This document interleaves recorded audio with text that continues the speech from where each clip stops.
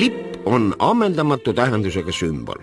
selles peitub ta omaks võtnud rahva kogu elu, hällist hauani, kaotustest võitudeni, orjusest vabaduseni, kaugest minevikust veelgi kaugemasse tulevikku.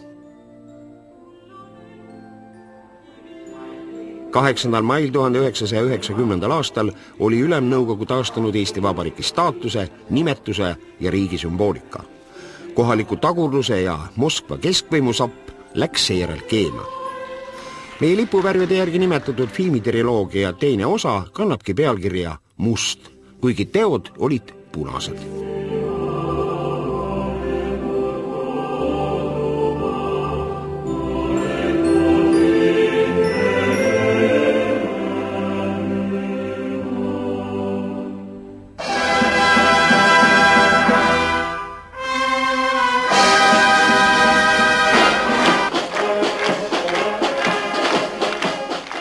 juba järgmisel päeval marssisid okupatsiooniväed Tallinnas üheksandat maid tähistama.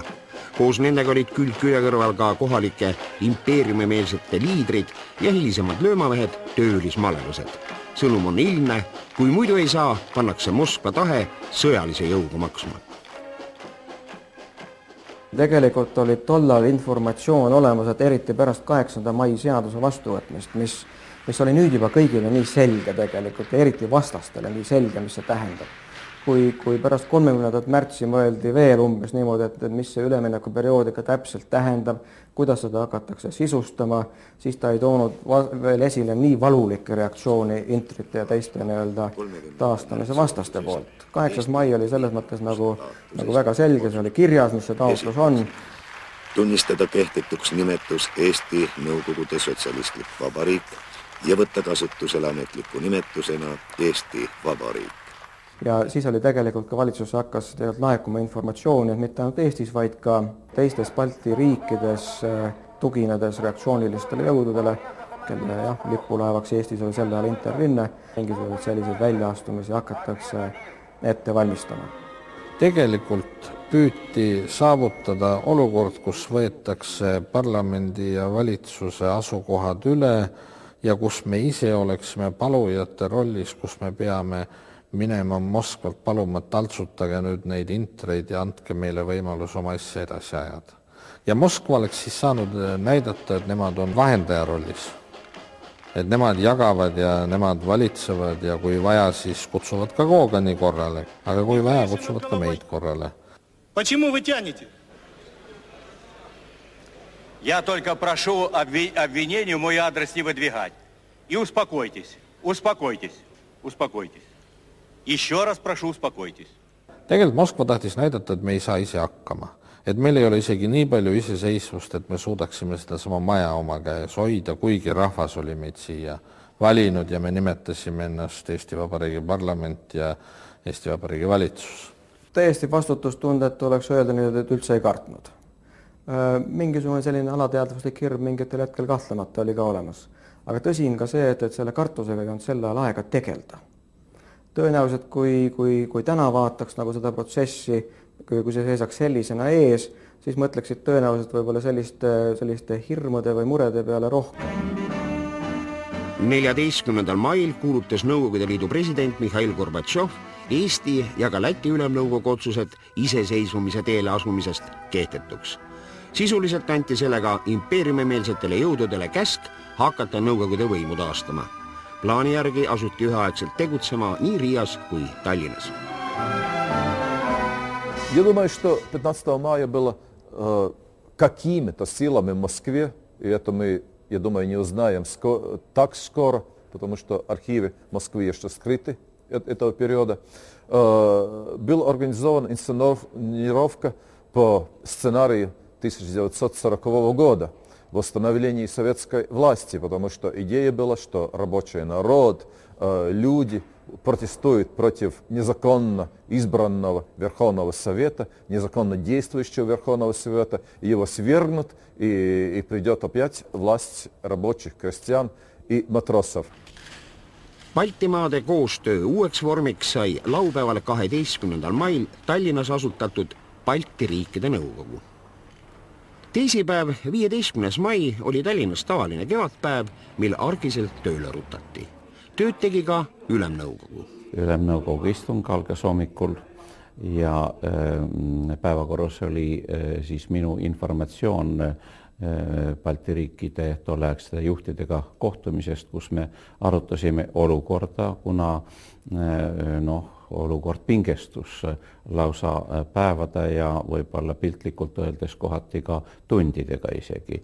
nii et ega me ei kujutanudki ette, mis juba võib-olla mõne tunni pärast võis äh, kuskil pool mingisugune situatsioon tekkida. ma informeerisin siis Ülemnõukogu ja peale selle istungi selle päevakorrapunkti lõppu tulin Kadriorgu tagasi ja siis ilmnes, et hakkab kogunema rahvas Toompeale ja muidugi mul oli side kogu aeg Toompeaga äh, juba Ülemnõukogu äh, kõigi struktuuride raames, äh, küll Nugisega, küll komisjonidega ja nii edasi.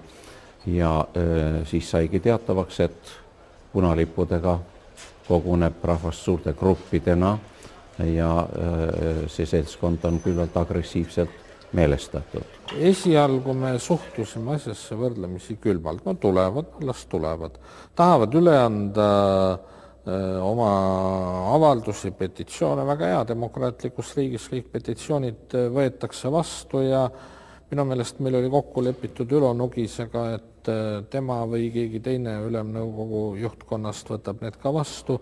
mina ei tegelenud sellega tegelikult üldse. mul oli tavaline päevarütm, rütm ja kokku lepitud kohtumised ja see, kui kogunes see Lossi platsi mm, suurune inimeste hulk siia, siis äh, ega see ei tekitanud probleeme pealtnäha. rahvakogunemisi oli tol ajal sageli, äh, inimesed esitasid oma nõudmisi, taotlusi ühelt poolt, teiselt poolt äh, nii et äh, me ei arvanud, et läheb mässuks. Moskvas kavandatud plaan oli tavapärane ja selge.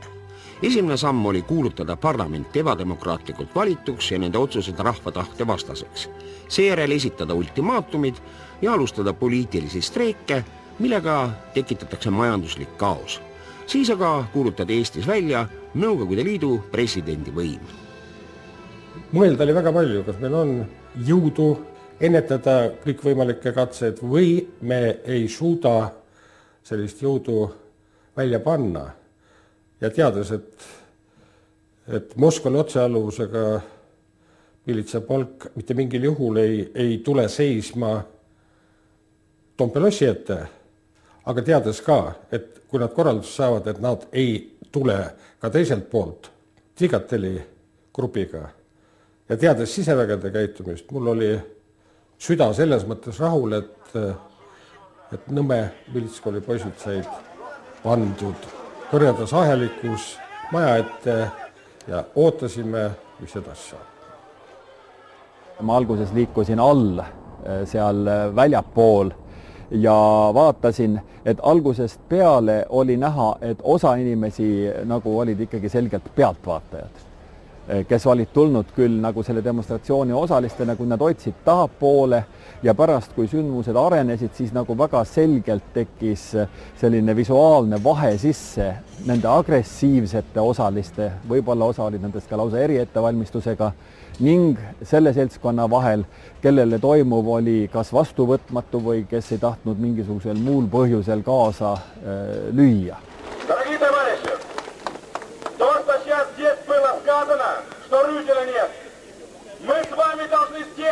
потребовать, чтобы он сюда приехал. Мы пришли сюда, и мы должны добиться того, чтобы он здесь был. ma ei olnud sellel hetkel Toompeal, eh, aga nad ei teadnud muidugi, kus ma olen ja helist-, meie majja helistati palju kordi ja otsiti mind taga sekretär muidugi vastas, et mind ei ole siin, võib ette kujutada, et see mass oleks eh, koheselt hakanud liikuma Kadrioru poole, kui oleks ilmnenud, et, et ma olen siin. ja pärast eh, Nugis pidas siis läbirääkimisi nende esindustega, mis kuhugi ei viinud ja loomulikult ta ei tahtnudki mingisuguseid lubadusi nendele anda. nii et eh, päev oli tõesti pingeline kella kuueteistkümneks oli Toompea lossiplats interrindelisi täis. meeleolu oli agressiivne, ägedad kõned kütsid rahvast veelgi enam üles. на предприятиях и в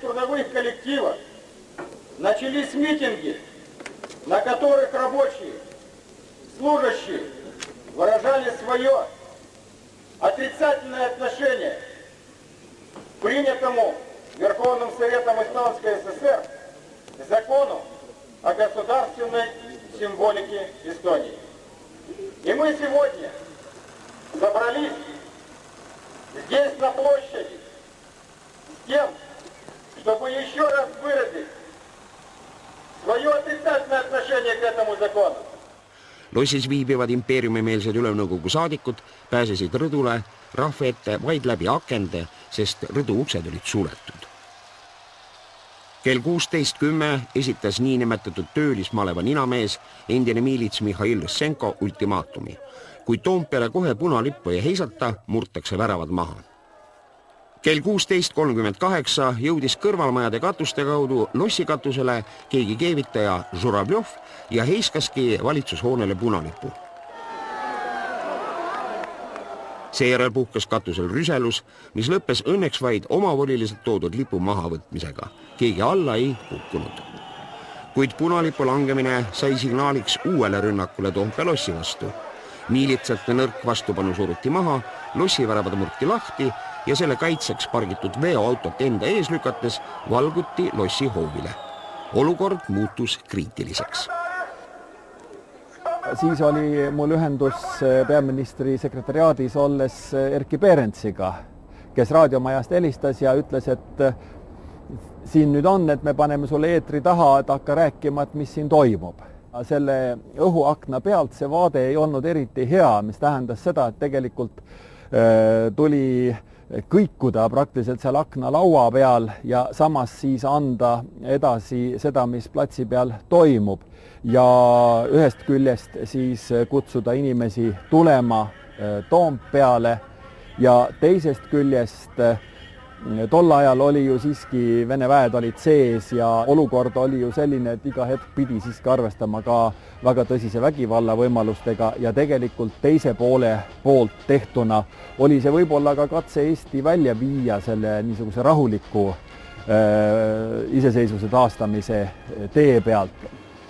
Minu jaoks oli kõige raskem hetk see, kui, kui lipp Toompeal alla tõmmati. seestpoolt oli päris raske nagu näha seda, kuidas ta toimus ja uksest oli ka päris raske välja saada selleks, et Henn Põldorus oli see mees, kes, kes hüüdis õue peal, lipp on läinud, me peame lipu tagasi saama. ja see korraldus, mis sai antud, minna üles ja, ja panna tagasi sinimustvalge. seda pilti jälgides oli, oli, oli tõesti nüüd niisugune tunne, et kui kukub või kui nii-öelda meie käsutäitjal kumminui kogemata natukene kõvasti läheb ja, ja punase lipu ülestõmbaja alla kukub, siis oleks see stsenaarium olnud teistsugune. Mina kohtusin parajasti sel ajal ülikoolide rektoritega ja me rääkisime hoopis kõrgema hariduse tulevikust ja perspektiividest ja heast käekäigust, kui mind ära kutsuti nende juurest. tajudes oma kaitsetust, otsustati pöörduda abi saamiseks Eesti rahva poole. see otsus sündis mitmes peas. kõigepealt valmistasid Rein Veidemann ja Ülo Nugis teksti televisioonile, mis aga kusagile jõudnud, sest lint oleks tulnud televisiooni viia seejärel sai peaminister Edgar Savisaar võimaluse pöörduda Eesti Raadio kaudu otse rahva poole ja kutsuda Toompeale abiks rahvamasse. ülemnõukogu ja Eesti Vabariigi valitsus kutsuvad rahvast valitsushoone kaitsele Toompeale. Interrinde ja töökollektiivi tööandnõukogu jõugud on Toompea lossi sisse piiranud ja seda rünnatakse. Kordan, Toompead rünnatakse toimub riigipööre, riigipöörde katse nii Tallinnas kui ka paralleelselt Riias seaduslikult valitud võimu kukutamiseks. me kutsume üles rahvarinnet, me kutsume üles töökollektiivide liitu, kutsume üles kodanike komiteesid, kõiki uuendusmeelseid jõude Toompeale. kordan, Eesti Vabariigi Ülemnõukogu ja Eesti Vabariigi valitsus kutsuvad rahvast valitsushoone kaitsele Toompeale. meid rünnatakse. muidugi see oli riski peale minek.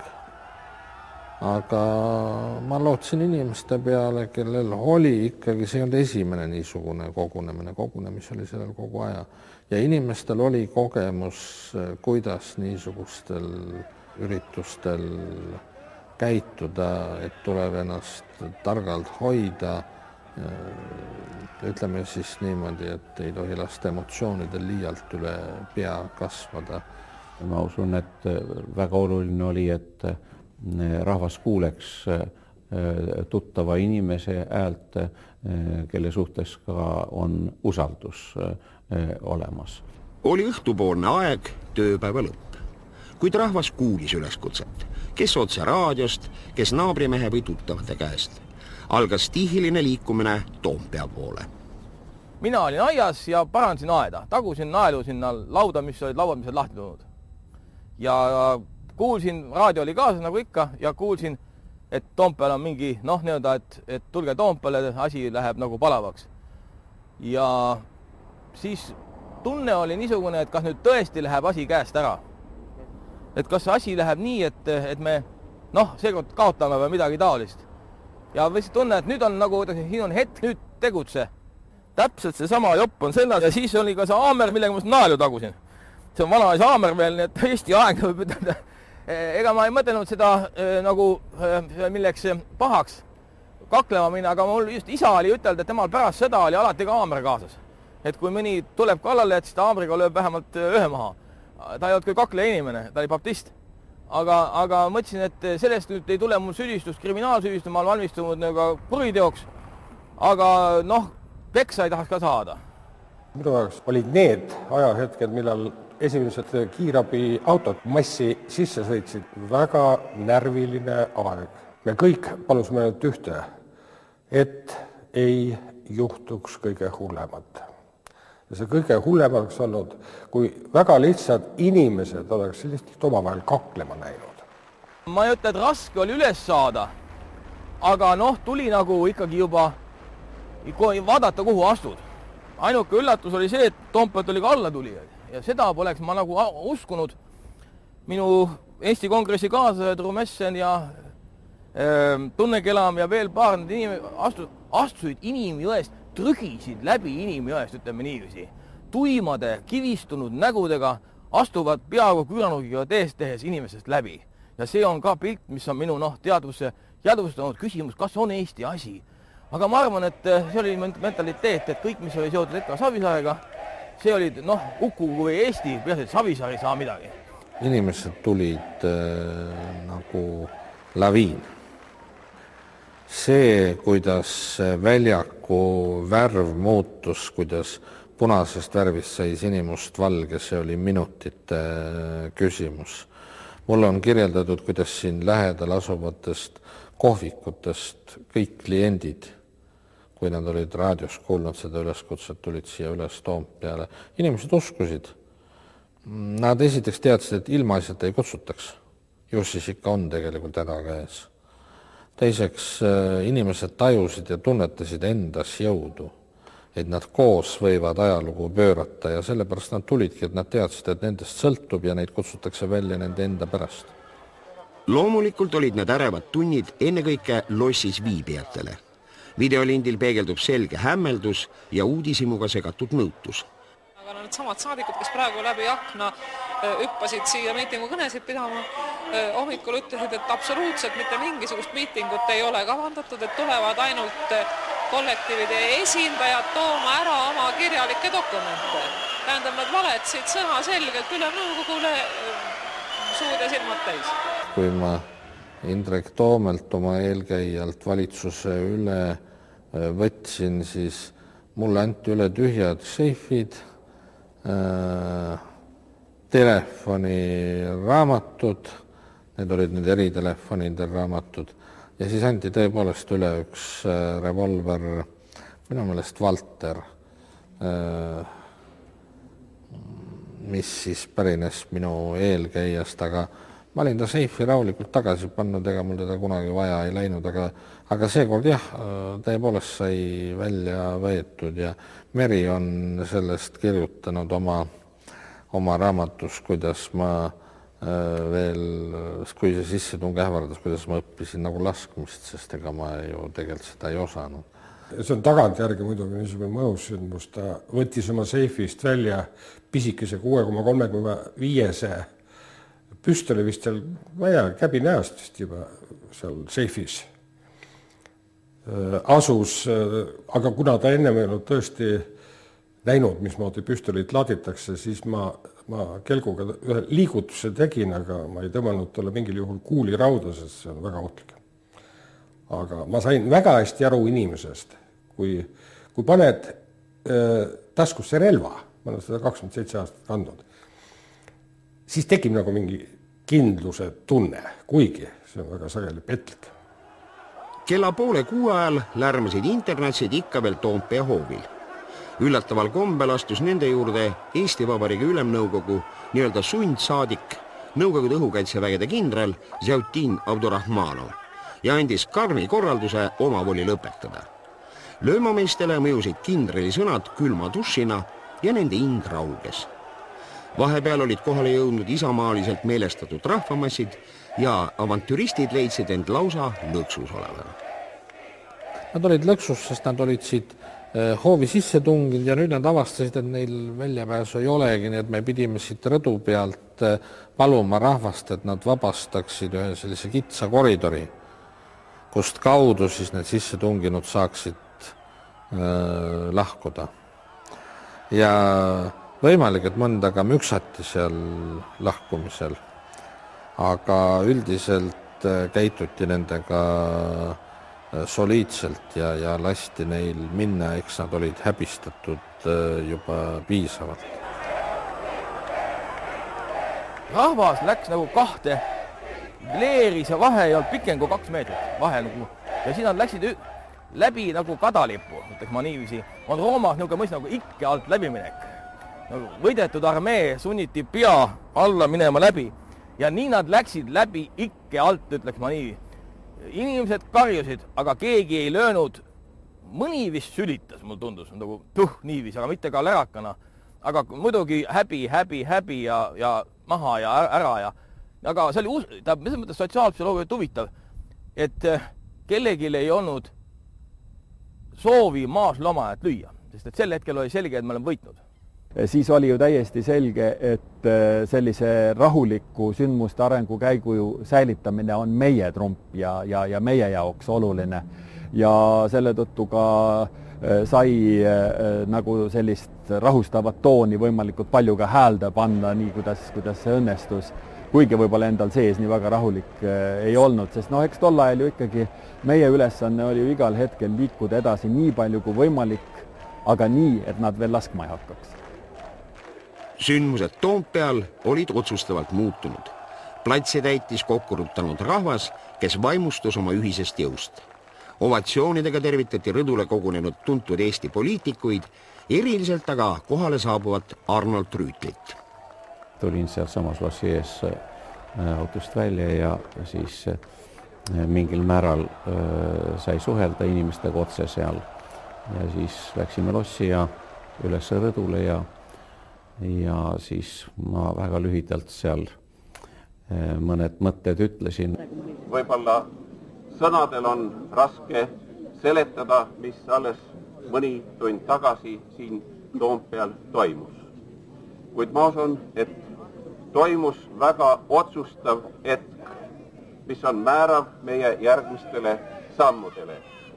ma usun, et kõik rahvasaadikud, kes praegu viibivad siin rõdul, on üksmeelsed selles, et kõik need sammud, mida me oleme teinud senini, järgnevad sammud ei saa olema mitte vähem tähtsad ja vähem otsustavad, aga võib-olla veel palju otsustavam, kui me oleme senini neid samme teinud. nii et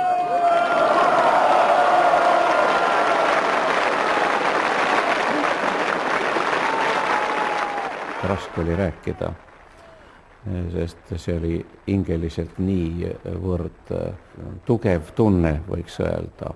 kui ühtne on meie rahvas ja kuidas ta on valmis võitlema oma iseseisvuse eest.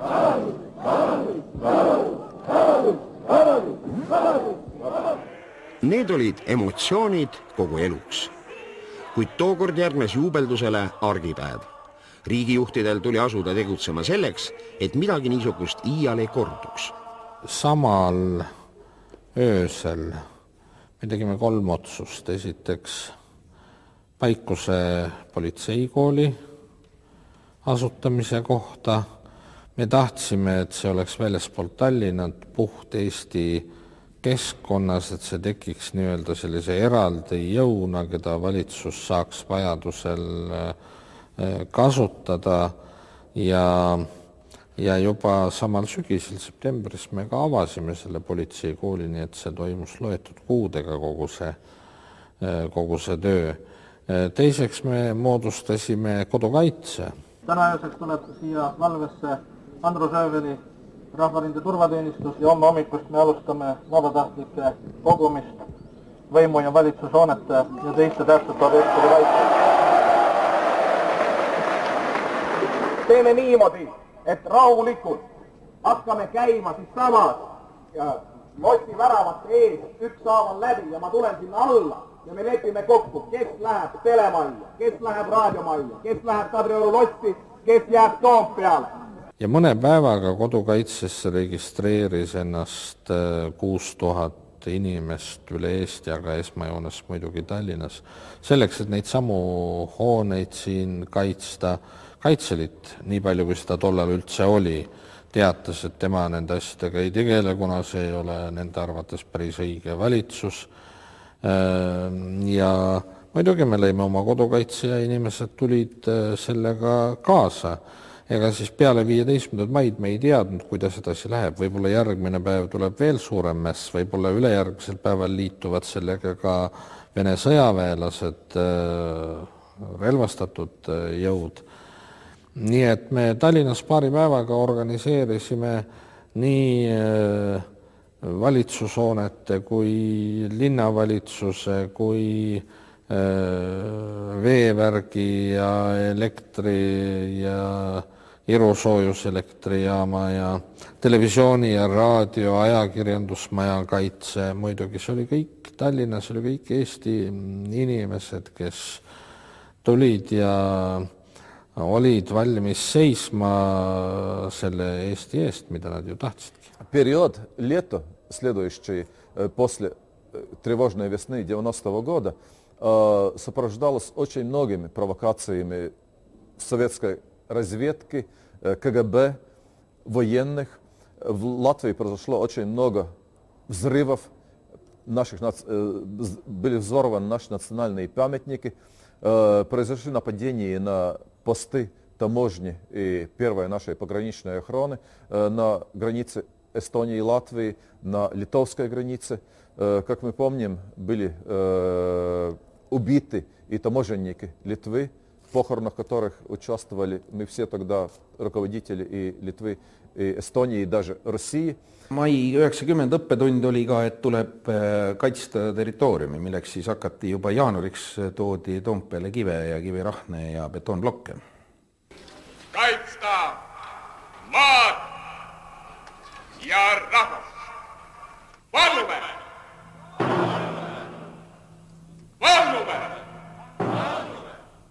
meil oli vaja kiiresti inimesi, kes suudaksid väravaid valvata ja territooriumi siis kodukaitse pani sinna omad mehed välja. Need kaks sammu olid Eesti ajaloos ikkagi kodukaitse poolt kõige tähtsamad. kodu on püha, kodu on püha, rahvas on püha, rahvas on püha, maa on püha